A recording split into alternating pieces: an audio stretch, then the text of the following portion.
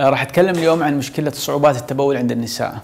إيش ممكن تكون الأسباب؟ والأعراض اللي نتكلم عنها إن المرأة تعاني من ضعف تدفق البول، آه، تتعصر عشان تتبول، إحساس بعدم التفريغ، وأحيانا يكون مصحوبة بأعراض تكرار البول. هذا يختلف عن تهيج المثانة اللي هو فقط التكرار، هني عندنا جزء اللي هو الصعوبات. هني ممكن نأخذها بفئات عمرية متفاوتة، فلو أخذنا على سبيل المثال في سن مبكر من سن 18 إلى 30 يحصل عند بعض الحالات نفس الأعراض اللي ذكرناها وأحيانا قد تصل إلى درجة الاحتباس البولي.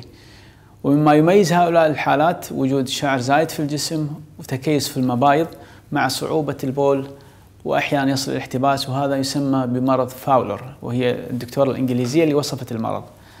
وأيضا هناك حالات من عدم تفريغ البول من غير ما سبق ذكره من أعراض وأمراض. ومن ضمن الحالات اللي يحصل فيها صعوبات تبول ما بعد الولادة وبالذات إذا حصلت ولادة طويلة قد يحصل أن المريضة تشعر بصعوبة في البول أو تدخل في احتباس بولي ويستمر هذا الأمر معها. وهذا ما نسميه اضطراب التبول.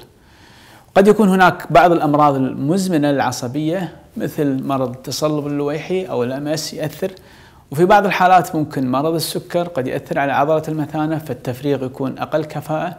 وفي حالات قليلة الديسك أو الانزلاق الغضروفي إذا ضغط على أعصاب الحوض قد يؤدي إلى ضعف عضلة المثانة وعدم كفاءة التفريغ تشخيص الحالة يكون بالفحص تدفق البول بتخطيط المثانة بتقييم الوضع والعلاج يكون حسب التشخيص إنه ممكن نعالجها من وسائل العلاج الممتازة لحالات صعوبات التفريغ بالذات في حالة مرض فاولر اللي ذكرناه والعلاج بالمنظم الكهربائي لأعصاب المثانة وهذا يساعد في علاج الحالات بشكل ممتاز.